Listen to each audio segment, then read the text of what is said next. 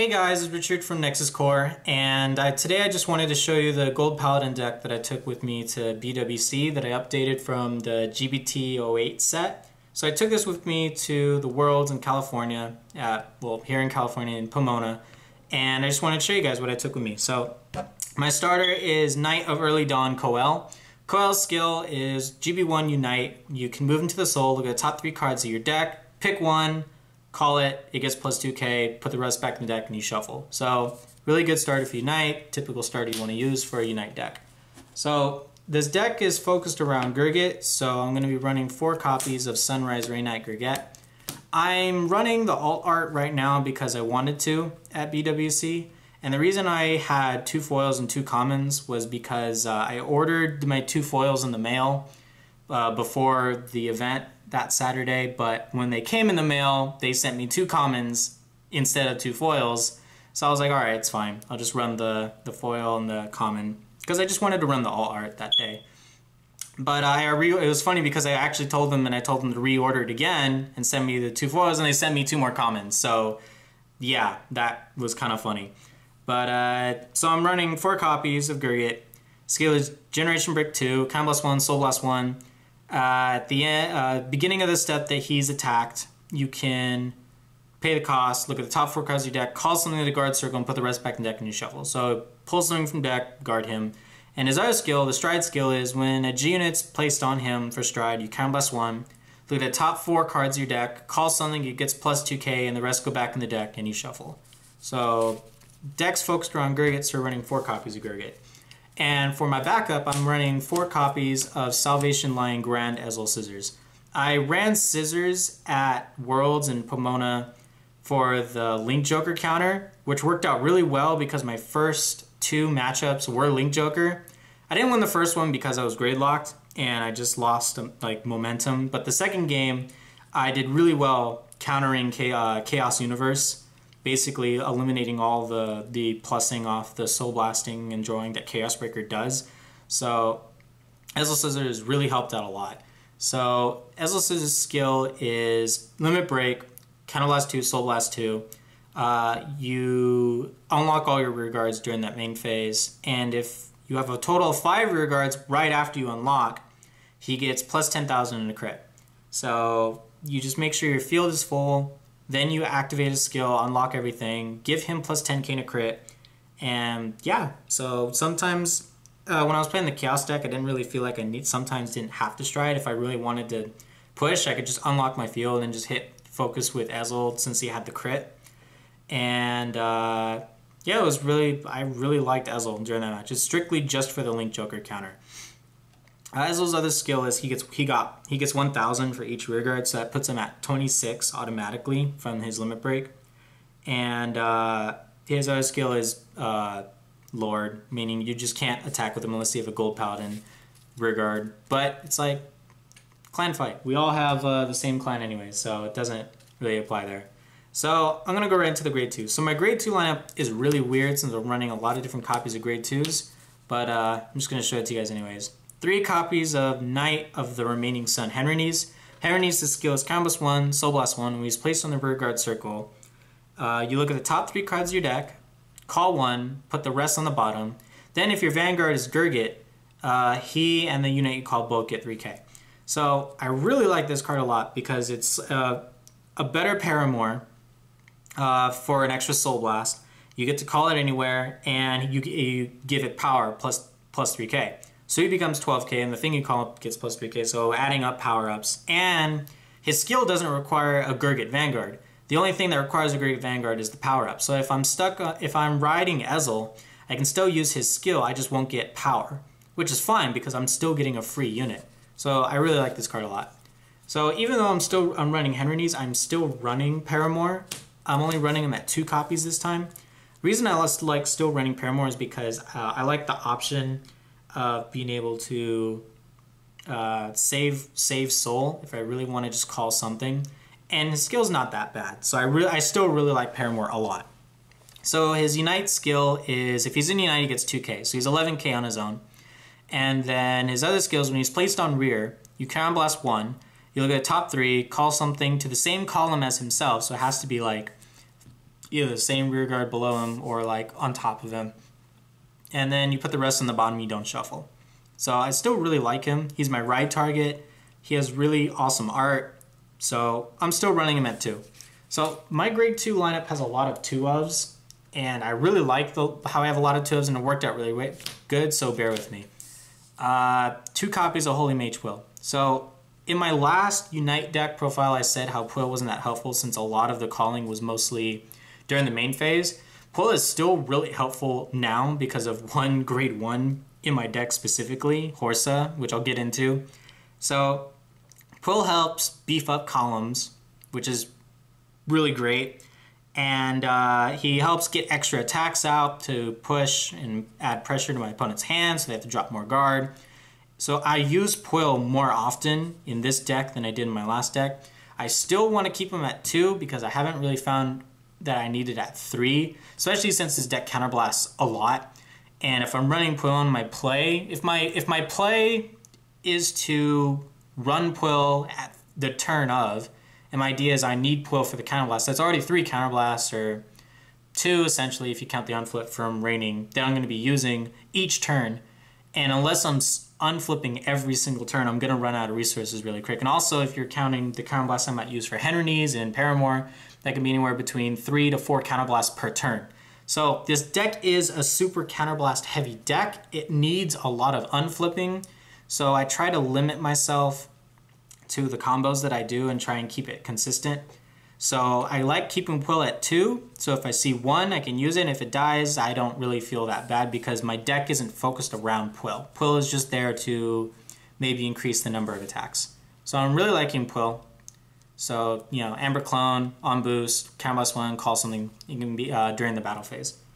So, next up on my grade 2s, I'm still running Bullurgal, only at two copies. I'm loving Bullurgal because when you call it, and your Unite, it gets plus 5k. So it's a 14k beater, and with a 7k boost, that's what? A 21k column. And with you combine that with Holsa, he gets power-ups on his own.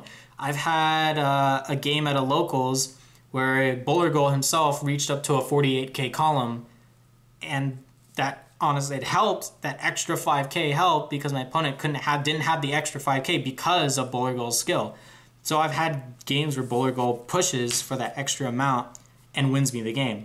So I'm really still liking Bullurgal, and I like how like if I write it, I don't mind. If I call it, it's still a really good call. It's just a really great card. I'm still keeping him at two. And lastly, for my grade twos, I'm running two copies of Knight of the Faint Sun Marcia. You pretty much need Marcia in a Unite deck because this deck, or at least in this deck, you're going to be counterblasting a lot. So you need to unflip a lot and I realized this after I tried playtesting without Marcia that I would run out of counterblast all the time. And even with the soul charging and counter and unflipping from Glorious Reigning and even from Gerrie the stand trigger, I still wanted to have Marcia to unflip even more so I could do more combos the next turn. So uh, Marcia's skill, I'll just get into it, is Unite. Uh, at the end of the turn, either your turn or your opponent's turn, you can move her to the soul and you unflip. So she builds up soul and she unflips, which is for Gurguit, it can be for uh, Glorious Reigning for the unflip. It can be for Sunrise Radiant Sorcerer to build up soul. It's just a really, really good card. And I'm really happy that I have this card. And uh, two, I would think is the least you need. Any less than two, I would think my you would probably have must have a better unflipping engine. But I, I like it at the two. Really, really good card. So I'm going to go right into the grade ones. So because I'm running the alt art Gurguit, I'm also running alt art Gorboduc. So Gorboduc is the stride fodder. You you know reveal a grade three, search for Gurguit to hand, discard, and he costs he gets grade plus two when you pay the cost for stride. So stride deck, stride fodders. And now we're going to get into what I believe is probably the best grade one in this whole deck. And it's surprising how people don't really think about how this card works because the wording of the skill doesn't seem like it does much. So his skill is Unite. So he has to be in Unite first. Uh, when he's in Unite, when something in the same column, or when something is placed, sorry, when something is placed on rearguard circle, his skill activates if he's in Unite. So Unite, something is placed, uh, he and the unit in the same column as himself both get 2k. So let's give a good example. let's pull out Pwyll.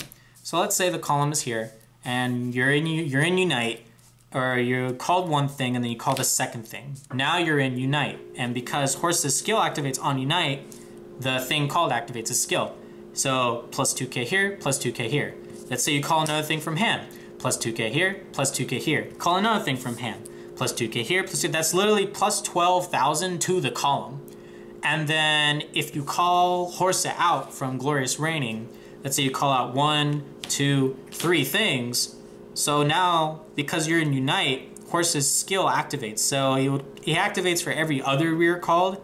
So since one, two other things were called other than himself, this column would get plus 8,000 power. So that's already beefing up your numbers. And even let's say you don't boost with this and you use Glorious Reigning to pull out other stuff, the column that is called in front of him gets the power up as well. And it's just a really, really, really, really good card, and I'm loving it. So this card is the card that helped Bullurgal get up to a 48k column. That's what that's basically what it is.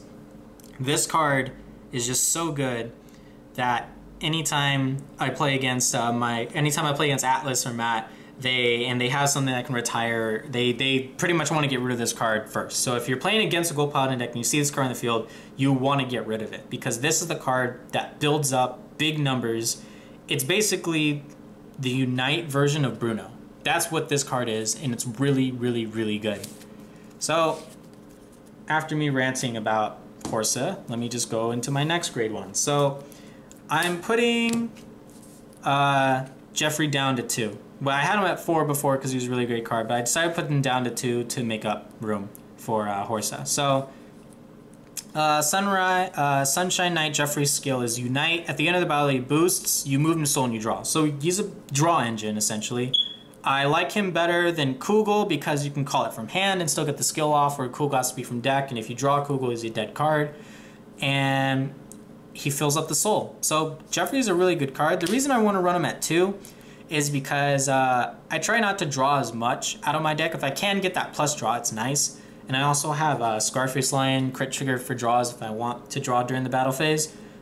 Um, the only thing is if I last list with my other Unite deck, I was I would either have to finish the game really quick before I decked out because I was drawing a lot with Jeffry, but I had to use Jeffry's skills because I wanted to build up the soul a lot.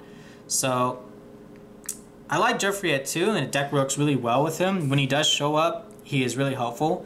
The main thing about this deck is really weird. I can run two copies of cards and still see them because Glorious Reigning and Henrinus and pulling all the cards in the deck look at the top 3, top 4, top 7 even for cards. So it's really easy to find what you're looking for in a somewhat toolboxy manner because you're not actually looking through the deck, you're only looking through the top few cards. But anything in this deck that you can find can still be a really good target. So I'm liking it this at 2. And I'm going to go right into my uh, right Malegant. I'm still running Malegant at the 1. I initially was thinking about having not running Malegant at all, thinking I had enough unflips, and putting Jeffry at 3. Reason I'm still running Malegant is because when he shows up, it's so helpful.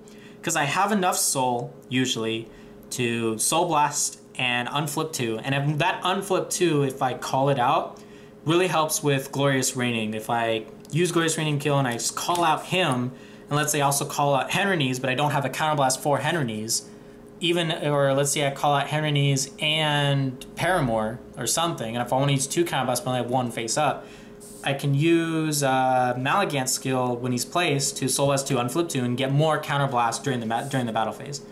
And, you know, I often find him maybe twice a game, and it's funny because, you know, um, Sleimy Flare recycles stuff. You can put it back in your deck, and I'll pull it out later. Glorious Reigning puts stuff at the bottom of the deck, and I can pull it out later.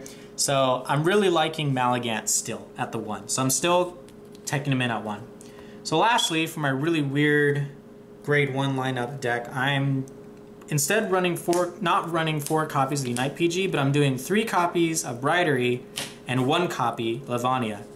I really, really thought about this, you guys, I promise. So the reason I used to run four copies of Lavinia, and I loved it. I loved it a lot. I loved the ability to just use Glorious Reigning, find Lavinia, put a trigger back or something back in my deck, and have a free PG back in my hand. It was great. Only one problem. This deck needs to unflip a lot.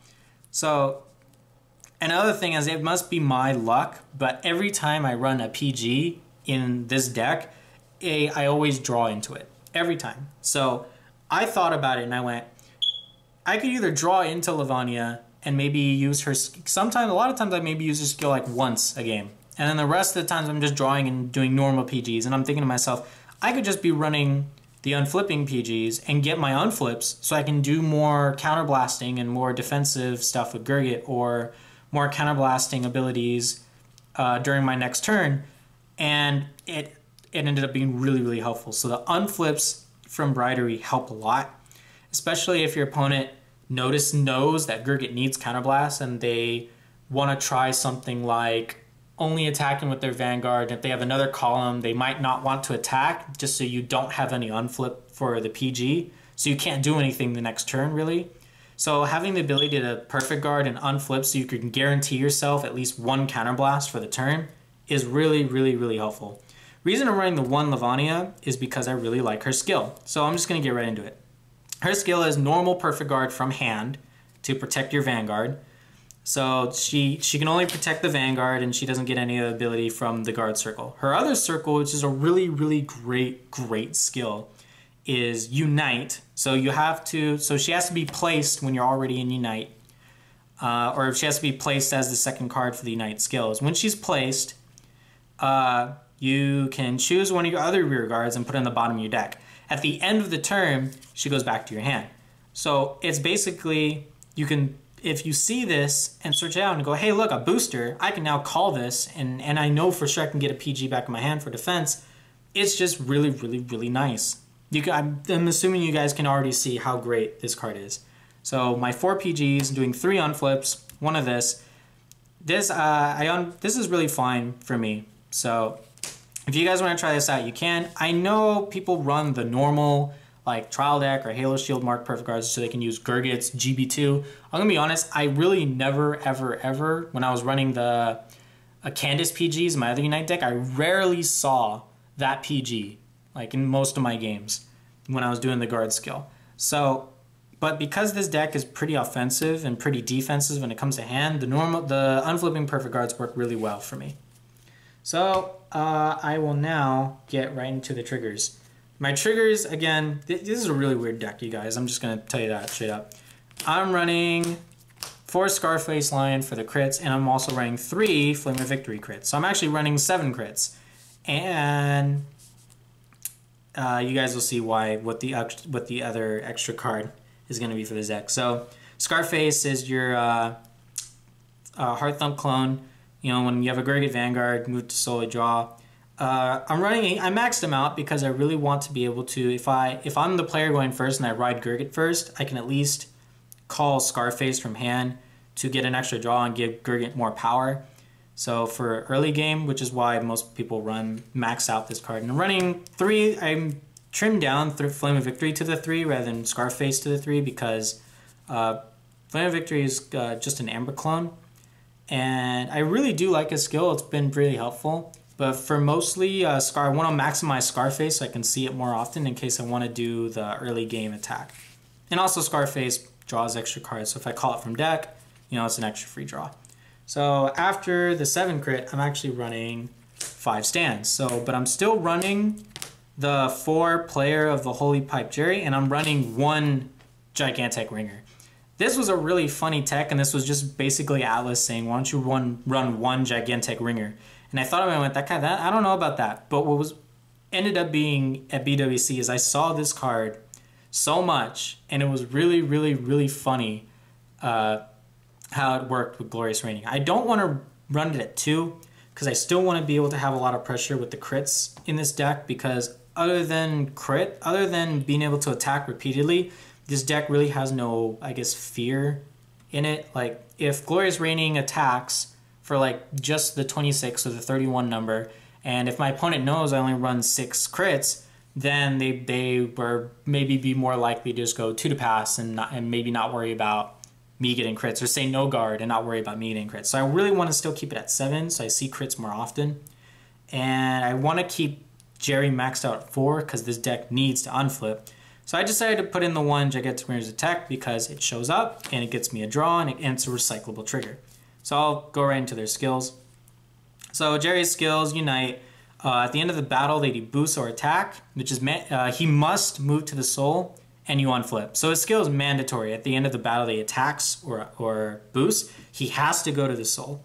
So the only thing is when you're when you're playing Glorious Reigning, if you call if you have two rear guards and and and Gerrie is one of them, and you if you attack with that column and try to attack with Glorious Reigning and move the the Gerrie to the bottom, it's not going to work because you have to use his skill because it's continuous. So it's continuous and the auto skill activates right after right at the end of the battle. So just be mindful of that when you're playing Glorious Reigning that this has to move to the soul at the end of the at the end of its battle. And then Gigantech Ringer's skill, which is a really, really lovely card from back in GBT03 that I missed. Uh, skill is GB1. When another card is placed on rearguard circle, uh, well, this is auto, so basically whenever another card is placed on rear, this, this card activates, it triggers, and you can move it back to the deck, shuffle, draw, and give the thing called plus 5k. So I really like this card because it works with Pwyll, again, like the old days. It works with Glorious Reigning because if I call it out, I can put it back in the deck and give whatever the other card's called plus 5 and I draw. So it puts a trigger back in the deck. So I'm literally just running Gigantech Ringer for the plus 5 power up and the draw and not really for the sense that it's, it's a stand trigger. Other than if, if Gigantech Ringer didn't have its skill, you know, it's just that I wouldn't be running the stand. That's kind of obvious. So one Gigantech Ringer for Gerrie for my stands. And lastly, running four Curable Angel heal triggers for G Guardians and free unflipping heals. Or free unflips basically because heals heal kind of blasted damage. So now let's get into the important card. I'm just going to go right up and talk about this card, Golden Dragon, Glorious Reigning Dragon. This card is like amazing. It's the game winner for most of my games because this thing alone can get me anywhere between four to five attacks during the turn. So Glorious Reigning skill is when he attacks, you may pay the cost. So on attack, Counterblast 1, flip up a copy of himself, and you pick two of your other rear guards and you put them at the bottom of the deck. Afterwards, you look at the top seven, seven cards of your deck, which is a lot. You look at the top seven cards of your deck, and from among those seven, you can call any number uh, or the same number of cards from that seven equal or less to the same number of cards in your G zone face up. So it's similar to Spirit Cross, it is better than Spirit Cross. This, in my opinion, replaces Spirit Cross because it's that good.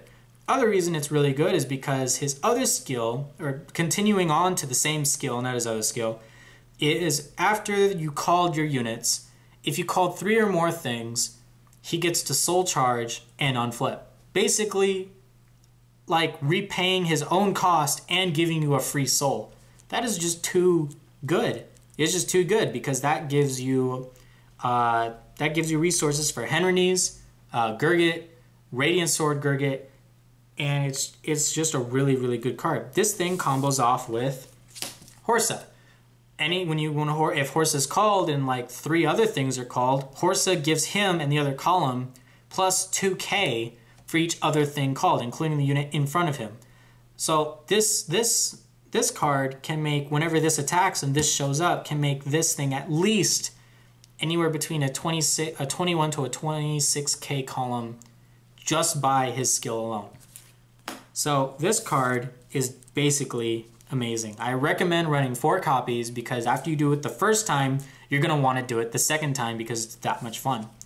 And by then, uh, if you have to use all four copies, your opponent's probably running low on hand because they guarded so many attacks and it, it's honestly this is it's just a combo card because now at least in the other unite deck we didn't really have much option for battle phase superior calling since radiant sword gurguit was your finisher and it was his ability was uh, main phase and then you just battled with big numbers this is now basically forcing your opponent to anticipate really really really big attacks for or really big multiple attacks during your turn and at the end, you're going to have a bunch of cards in your hand from coming off all the Unite skills. So four copies of Glorious Reigning. Really, really great card. And I'm still running the two copies of Radiant Sword Gurguit because he's got a nice skill. Uh, I use him every now and then, but not too often. Uh, Radiant Sword is Unite, GB2, Counter Blast 1, Soul Blast 2. All your rear guards get plus 5, and he gets plus 5 for each rear guard. So beefy numbers, uh, making really great, really big columns. Not really a battle phase card, but if I just want to build up and waste and lower down my opponent's hand, I go into this. I often don't go into the second one, but I like to run two just in case I feel like, oh man, I really wish I had another Radiant Sword though I can do that again. So I want to keep two as my option. So because I'm running Ezel, I'm still running the two copies of Absolution Lion King Mithril Ezel. I am I thought about running four. The only thing about it is my G zone doesn't really have room for four unless I take out uh, Scourge Point, Ebraucus, or, or Rising Shine, or, or like Sea Breeze. And I really don't want to, because uh, that would just be me taking out one Radiant Sword, one of those guys, to run four. I like I just like my G-Zone the way it is, and I've had it where I use those units more often than Ezel. And also the deck focuses more around Gurguit than Ezel. So Ezel, it's just basically just for the Link Joker counter. The only I wouldn't want to run four uh, because it's, I am only running this for anti-Link Joker since Glorious Reigning and all the other units still work really, really well with Ezel. So I'd rather do this. The only reason, the other reason I really like having Mithril, other than the Link Joker counter, is because Glorious Reigning needs three cards face up to unflip and to unflip and Soul Charge. So if you ride Ezel, you stride into this as your first stride, you're already unflipping an Ezel for his skill. Just maybe you don't need to unlock, maybe you just want to call stuff, power up. And at the end of the turn, you have two, and then you go into Glorious Reigning. Where is Glorious Reigning? You go into Glorious Reigning, stride it, flipping them face up, that's already three by your second stride. So it's a lot easier to get the three face up if you're riding in Gurguit, I mean riding in Ezel. But I prefer not to ride into Ezel often because I really want to use Gurguit skills. And but I still like if I do have to ride Ezel, I still like being able to do that and then still go right into Glorious Reigning. So Mithril Ezel, uh, basically act or once per turn, count one, flip a copy of itself over, unlock all your rear guards, then you look at the top five, call something, and the thing you called uh, basically doubles its base power, and then you can also increase uh, Ezel's power by the base power of the unit called. So it's kind of like OG Blonde Ezel, which is really nice. So running it for the anti-Link Joker and to get uh, Glorious Reigning go off easy if I ride Ezel. So next up, I'm going to go and show you guys my one-ofs for G units.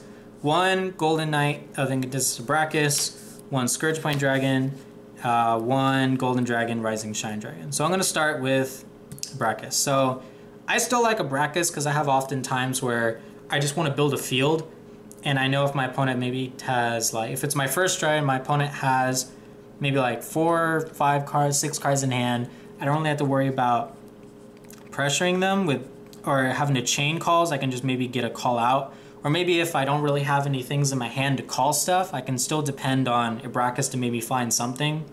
Uh, it combos with Gurguit to get Unite off right away. So Ebraucus' skill is when he's when he's as soon as he's placed on the Vanguard Circle, count less one, soul less one. Look at the top two, call one, put on the bottom. So he's not that great, so you don't even want to run him at one, but he's still a nice card to to stride as your first stride, just to fill up a field and let the other rear guards start powering up and build, doing their abilities. So he really helps set that up. Running, still running the one, I'm running one Scourge Point now because uh, if I do have Pwyll and Henrinus and like Holsa, I want to make like really, really big columns. Uh, Scourge Point still helps a lot and maybe a first stride. All these are basically like your first stride options, other than as uh, Mithril Ezel for if I ride Grand Ezel Scissors. So Scourge Point skills, anytime a rear is called, uh, the unit called and Scourge Point both get 5,000 power. So he stacks up. Every time something's called, he gets plus 5, and everything called gets the plus 5 as well.